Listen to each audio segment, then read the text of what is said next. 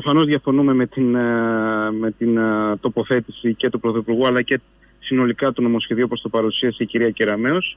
Διαφορετικά με άλλη ορολογία, κάτι που κρύβεται πίσω από τη φρασιολογία που χρησιμοποίησε ο κύριος Μητσοτάκης, είναι ότι το νομοσχέδιο προφανώς έχει ένα ιδεολογικό και πολιτικό πρόσημο και όπως ο ίδιος δήλωσε την αποδέσμευση, όπως είπε, των σχολείων από το Υπουργείο, ε, αυτό μεταφράζεται ως την αποδέσμευση του δημόσιου σχολείου από το κράτος, από την κρατική χρηματοδότηση. Διότι όπως είπατε και εσείς στην uh, εισήγησή σας για το θέμα, ένας, ένας από τους βασικούς άξονες του νομοσχεδίου είναι η καλλιέργεια και ε, το ενδιαφέρον που πρέπει να δείξει η εκπαιδευτική κοινότητα, η σχολική μονάδα σε συνεργασία με ιδιωτικούς φορείς, με ιδιωτικές εταιρείες για τη χρηματοδότηση ε, και την δημιουργία πόρων για το ίδιο το σχολείο. Καταλαβαίνουμε λοιπόν ότι δημιουργείται, ε, δημιουργούνται συνθήκες από αυτό το νομοσχέδιο της αποδέσμευσης κρατικών πόρων, της κρατικής χρηματοδότησης από το δημόσιο σχολείο με ό,τι αυτό συνεπάγεται,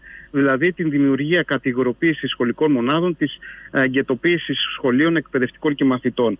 Και αυτό δεν αφορά μόνο αυτό τον άξονα, αλλά και οι υπόλοιποι άξονες κινούνται στην ίδια νεοφιλελεύθερη κατεύθυνση, όπως και η αξιολόγηση των εκπαιδευτικών ε, και εδώ να αποσαφηνίσω ότι η θέση και των εκπαιδευτικών ομοσπονδίων και της δασκαλικής ομοσπονδίας και της ΟΛΜΕ είναι είμαστε υπέρ μιας αξιολόγησης και αποτύπωσης του προγραμματισμού και της αποτίμησης του εκπαιδευτικού έργου, αλλά με διαφορετικούς όρους σε σχέση με αυτές που διατυπώνονται ε, στο νομοσχέδιο αυτό. Ε, διότι ένα απλό χαρακτηριστικό παράδειγμα. Ε, λέει η κυρία Κεραμέως ότι η αξιολόγηση θα γίνεται προκειμένου οι εκπαιδευτικοί που παρουσιάζουν κάποιες αδυναμίες να επιμορφώνονται. Και πάω στη σημερινή πολιτική ηγεσία και, στο, και στο, στη δήλωση του ίδιου του Πρωθυπουργού ότι το εκπαιδευτικό σύστημα έχει αδυναμίες. Φέτος ζήσαμε μία πρωτόγνωρη χρονιά από πέρυσι το Μάρτι το Μάρτιο του, του, του, του 19 όπου είχαμε την πανδημία και την εξαποστάσεως εκπαίδευση.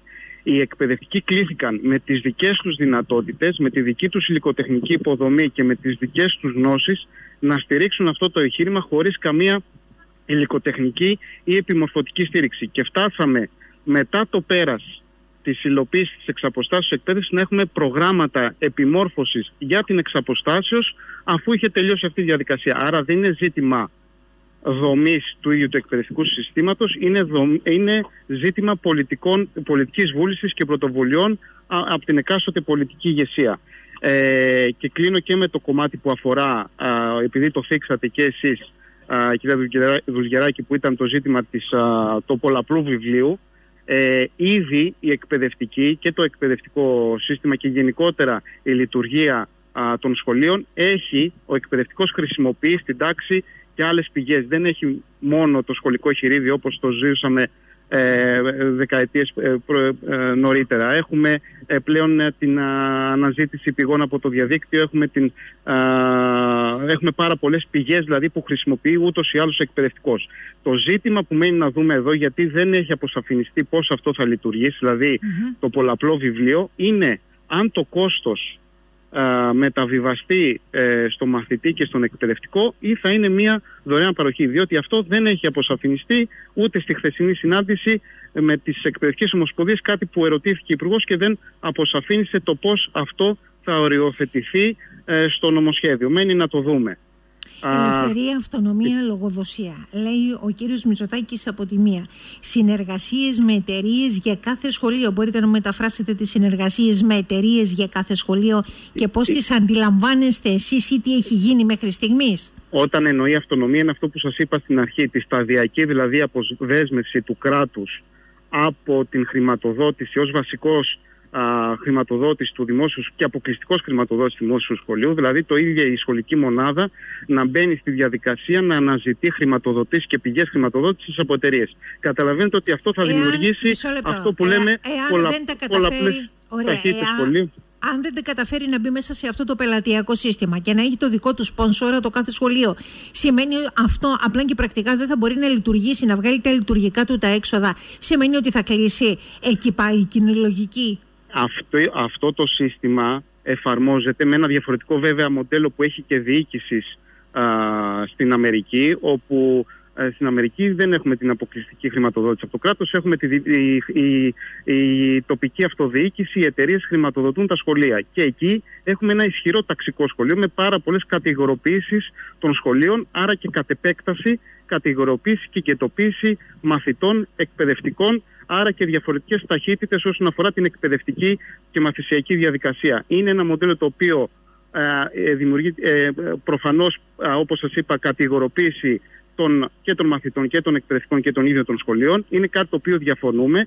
Και όταν λέμε λοιπόν αυτονομία, δεν εννοούμε την παιδαγωγική αυτονομία. Ο κ. Ματσετάκη εννοεί την οικονομική αυτονομία. Και γι' αυτό στη, ε, στη δήλωση, όπω διαβάσατε και προηγουμένως, του κ. Μητσοτάκη, αναφέρει το Υπουργείο επιτέλους να αποδεσμευτεί, να αποδεσμευτεί το Υπουργείο από τα σχολεία.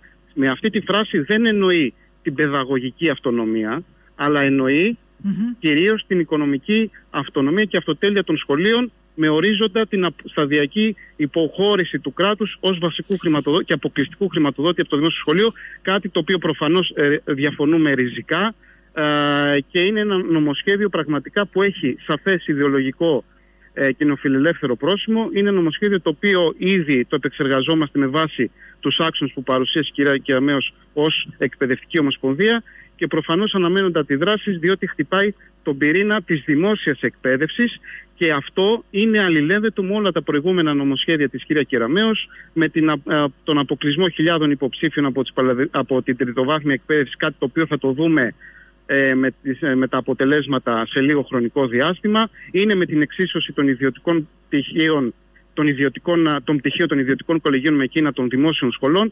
Είναι αλληλένδετη δηλαδή ε, και συνεκτική η πολιτική τη κυρία Κυραμέως που έχει την να χτυπήσει τον πυρήνα της δημόσιας εκπαίδευσης και με αυτό το νομοσχέδιο που παρουσιάστηκε σήμερα. Το αποκωδικοποιείτε από τη δική σας την πλευρά. Αφορά πρωτοβάθμια και δευτεροβάθμια εκπαίδευση.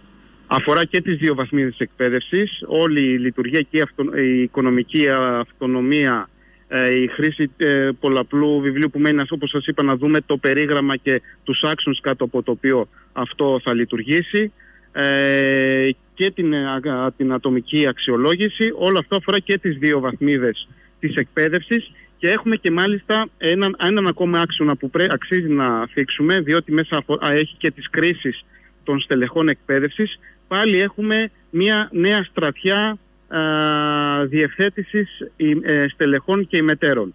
Και αυτό το λέω διότι ε, τα στελέχη εκπαίδευσης έχουμε ξανά κατάργηση όλων των αρμοδιοτήτων και των, α, ε, της πυραμίδας των στελεχών εκπαίδευσης που είχαμε την προηγούμενη, με την προηγούμενη πολιτική ηγεσία. Τώρα έχουμε ράβε ξύλων ξανά, μια νέα στρατιά στελεχών από 540 ε, οι συντονιστές εκπαιδευτικού έργου γίνονται 800, δηλαδή έχουμε αύξηση των συμβούλων ε, εκπαίδευσης και με αυτές οι κρίσεις θα ξεκινήσουν από την, μετά την ψήφιση του νομοσχεδίου ε, πιθανότατα από το Σεπτέμβρη με την έναρξη σχολικής χρονιάς να, να έχουμε ε, το ξεκίνημα δηλαδή των κρίσεων στα στελέχη εκπαίδευσης.